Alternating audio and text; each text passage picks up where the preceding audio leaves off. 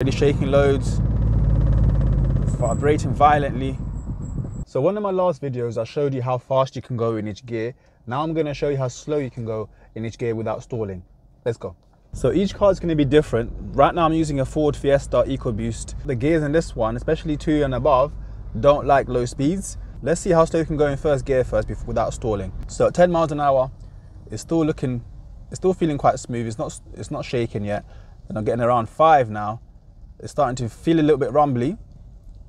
And then even lower than that, it's still fine. It's still going. Now it's really shaking a lot. And then around three miles an hour, it stalled. So you could probably get away with going three miles an hour in first gear. So second gear in this car really hates slow speeds. So we're gonna see how long it's gonna take for it to, before it stalls. So if I start slowing down gradually, so right now I'm about, I'm about 15 miles per hour. It's still good. 10 miles per hour is still okay. But now it's starting to feel a bit of rumbling and the revs are going underneath 1000 RPMs. Now shaking a lot. And around five miles per hour is stalled. I don't think you can go any lower than five. So second gear, it was comfortable just above 10 miles per hour. Then any lower than that, it started to stall. It started to really shake and then five miles an hour, that was the limit. So if you were to make a turn and you needed to do uh, less than five miles an hour, second gear wouldn't be ideal. Uh, we probably have to go into first gear for that. Let's see how slow we can go in third gear. So my dial right now is showing about 20 miles per hour. So I'm gonna start reducing my speed. And the rev's already gone underneath 1000 and it's already shaking violently, 10 miles per hour. Yeah. So it's shaking a lot around just above 10 miles per hour. Then once we got to 10, that was it. It couldn't do any less than that. Then it cut out. So for gear three, I would say even above 10 miles an hour is a bit too low for this for the speed.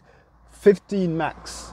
Any lower than that, it's it feels terrible. So if you want to use gear three, I wouldn't be using it below 15 miles per hour in this car. Let's see how slow we can go in gear four. So I'm doing about 20 on the dial here. And I'm starting to shake straight away at 20 miles per hour. Shaking a lot, violently. I'm gonna try to bring it down gradually so I can see exactly when it's gonna cut out. It's shaking loads. And then 15, 10. So 15 miles per hour was the minimum for gear four. But it was shaking loads before that anyway.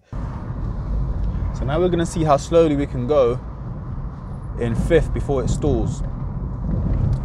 So right now I'm just doing just under 30 miles per hour.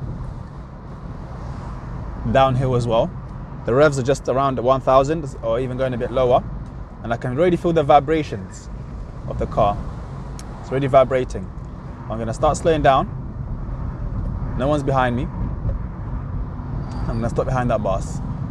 It's already shaking loads, vibrating violently, and then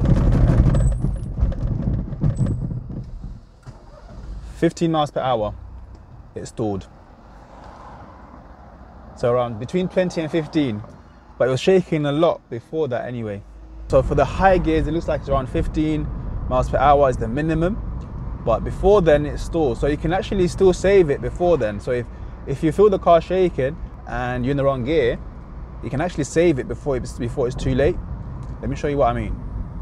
So like right now I'm in fourth, and if I start slowing down, I can feel the car shaking. Then I can actually it gives me a warning, so I put my clutch down, and then I could have gone into second if the road was clearer, but I'll go into first because I'm stopping behind this bus anyway. So remember, you're always gonna get a warning before, way before the car stalls. You should have really put your clutch down before that, but the vibrations will give you like a last chance to save it before it actually stalls.